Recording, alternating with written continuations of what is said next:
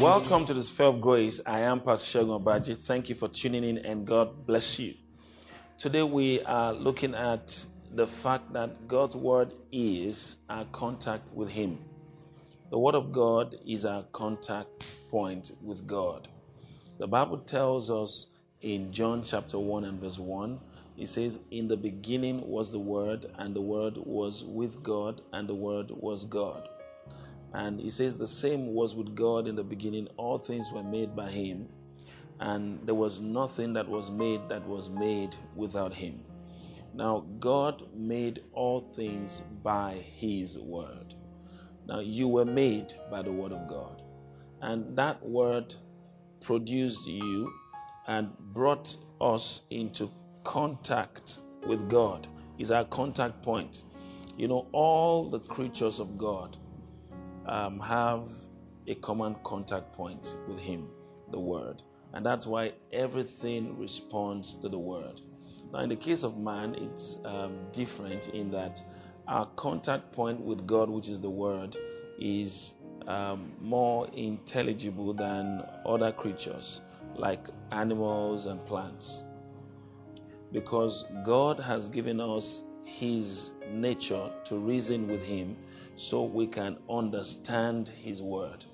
Now, when God commands the animal kingdom, they respond. He commands, you know, the plant kingdom, you know, all the plants there respond.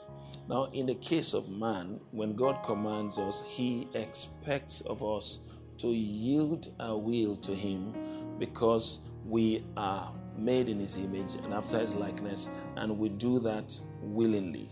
He expects for us to willingly respond to His commands. Praise God. So the Word is our contact point.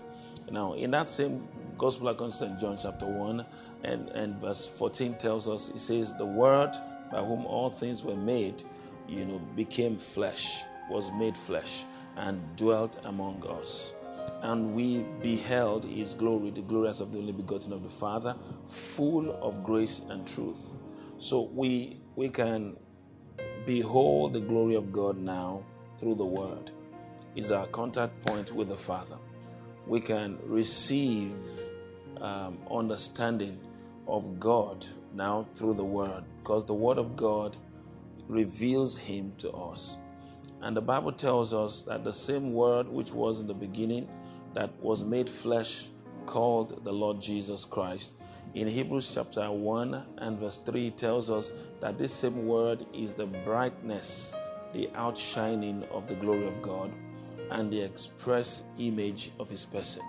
So that means through the word we can see who God is, understand who God is, articulate, you know, that understanding deep within our hearts and relate to God as such. The word is our contact point with the Father. And anytime God wants to do anything, He does it by His word. Everything He created, He created by His word.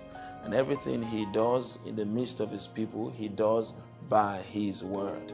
The word is our contact point with Him.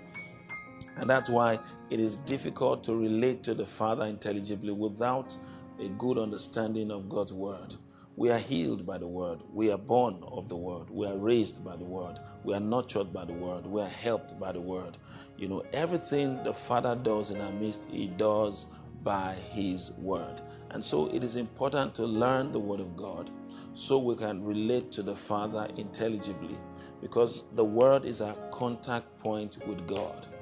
And when the word of God comes to you and you receive the ministry of God's word, you begin to relate to the Father intelligibly. You know what He wants. You know His heart desires. You know how you know He, he, he carries Himself, His His ways. You understand His ways, and by the understanding of God's word, you can walk with God like Enoch did. The Bible says Enoch walked with God and was not, for God took him.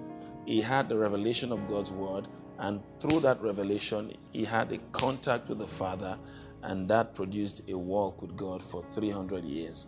The Word of God is our contact with God. So treasure the Word and receive the ministry of the Word on a daily basis, and you walk with God and enjoy the fullness of the Father in your daily walk. in Jesus' name. I believe you've been blessed today. Until I come your way again tomorrow, keep living and basking in the sphere of grace. I love you and God bless you.